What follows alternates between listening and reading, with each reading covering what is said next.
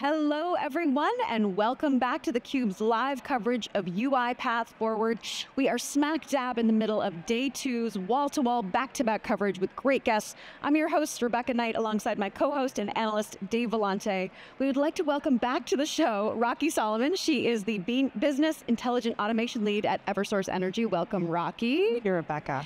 And uh, Jamaal Stanford, the Senior Manager at, at EY. Thank you Thank so you. much. Thank you. Very happy to be here. Yeah, we're happy to have you. So you are both very close partners working hand in glove.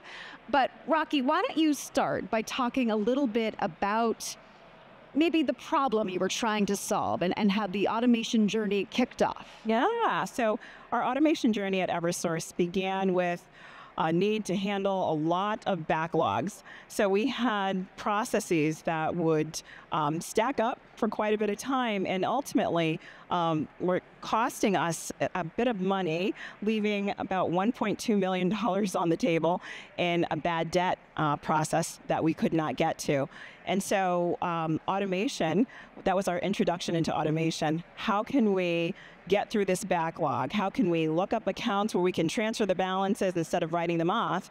And our introduction was a bot. We did a small uh, proof of concept and then we scaled from there. So, our introduction is how do we get through all of these backlogs? How do we reduce overtime? How do we reduce the burden on our employees? Because it's frustrating when you see work piling up.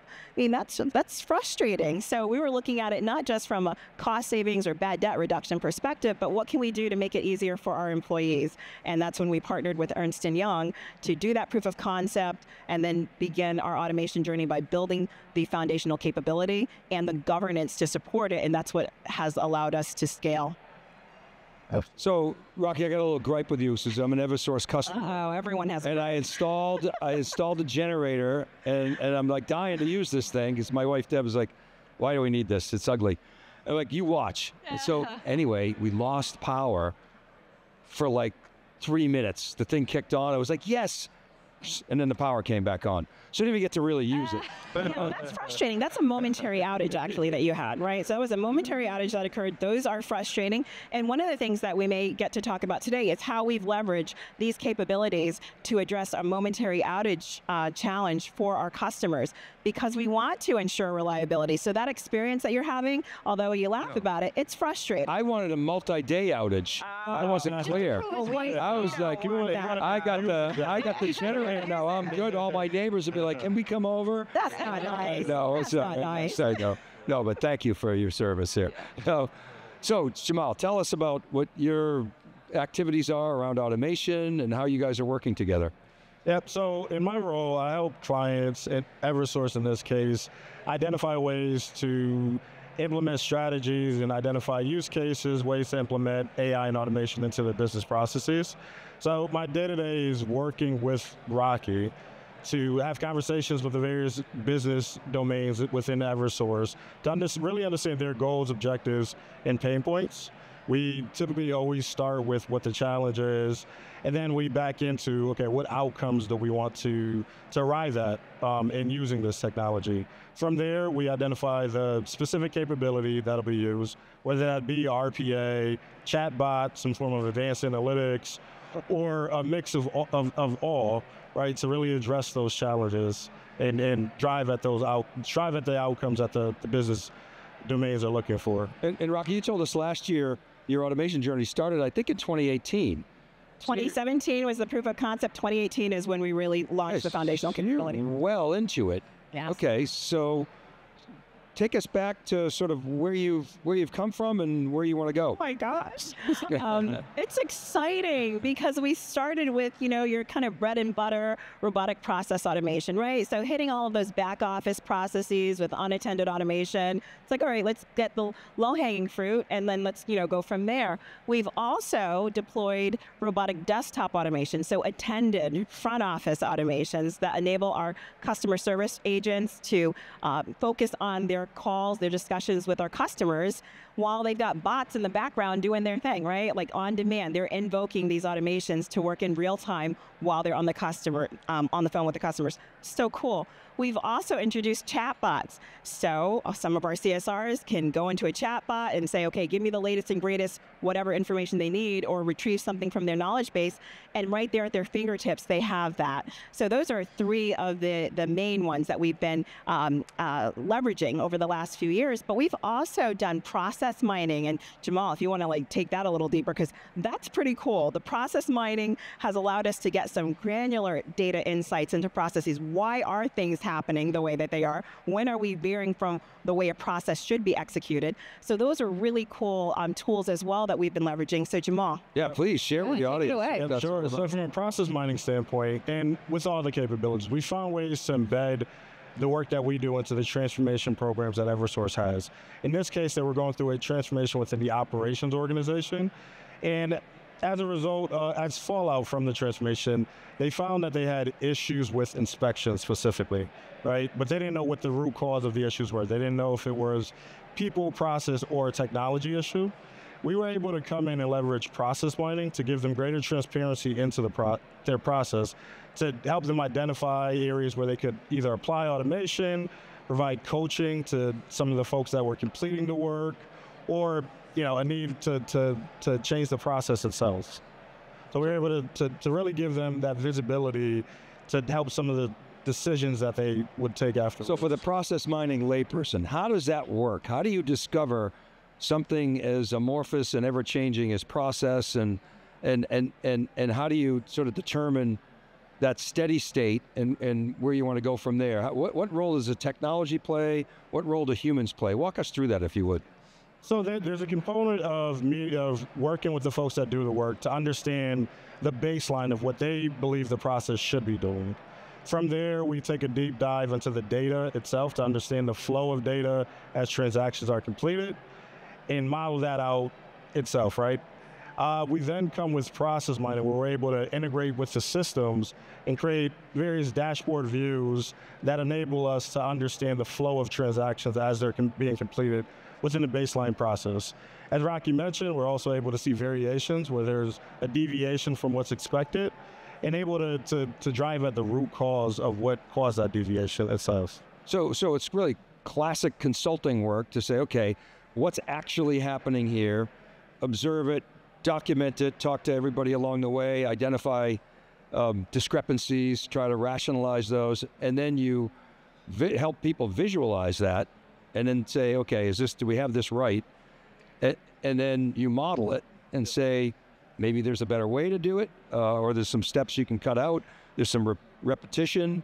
Yeah, I think one of the distinctions is I think there are probably fewer interviews that are required. We're able to do this more in an automated fashion and, and leverage system data in a more effective way to, to gain that view of what's occurring, what should be occurring, and what can be done to address the challenges that are How does that work? Because you you know the outcome and you can follow the data. Is that right? Is that essentially how you? Cor- Correct. We, we know what the quote unquote happy path is, and we're able to see when there's deviations from it, and when there are deviations, we have the data to say what actually occurred. Right. It starts with a hypothesis, and then we test the hypothesis using process mining to determine whether or not, right, it proved to be true or it proved to be false, and what were the reasons behind that. And the human has the hypothesis. And the human, hu- okay. right, the human has the hypothesis. Okay. Yeah. Okay. Yeah. So we don't. Yeah. Are these processes documented anywhere, like formally, and are they kept up to date, like company policies and things like that? You know, that is a great question. and as much as I don't want to air anyone's dirty laundry, no. um, but you know, keeping processes up to date is a challenge Yes. that many businesses have because as systems are upgraded, right, things, you know, a, a screen can change, a process might be eliminated or something could be added, and it's, you know, um, on the fly, it's like, okay, yep, we now need to do this or we don't need to do this. And you don't take the time to go back to the documentation because at that point, people are no longer relying on the documentation until you need the documentation. Yeah, right. right. So part of our process with building any of these automated solutions is to step through these processes with the people who do the work.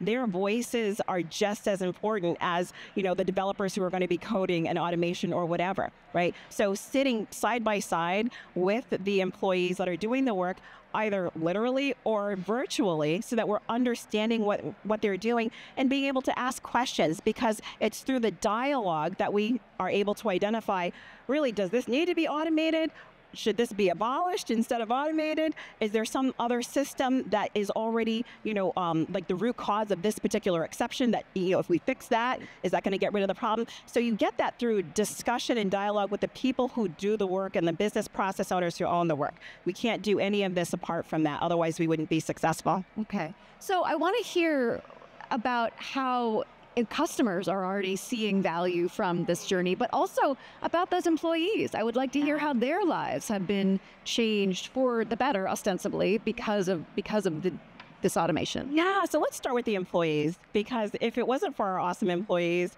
the, the satisfaction that our customers are getting in many areas of the work, of the bills that are coming going out the door, right? We wouldn't have that if it wasn't for the dedicated and awesome employees that we have. And so one of the things that our folks do is they raise things quickly we have a pain point. This isn't working. We need to do something else, right? And so because they're comfortable giving voice to the process pain points that they're encountering, that gives us an opportunity to help solve it for them, right? So being engaged with them from the outset is also one of the things that has prevented Eversource from having this, you know, like kind of backlash of employees saying, hey, wait a minute, what are you doing? You're getting rid of the work. No, you're actually going to give us something that we want. You're going to give us some relief, right? So by creating an atmosphere where our employees feel comfortable raising things, knowing that, hey, this could either be automated or my whole work here can change, but they're comfortable and confident in their leadership. Psychological safety. Yes. That's yes. Exactly. Yes, yeah. absolutely. They're comfortable and confident in their leadership, knowing that if this gets moved away, my work experience is going to be much better, and I'm going to be able to do something that I actually like to do.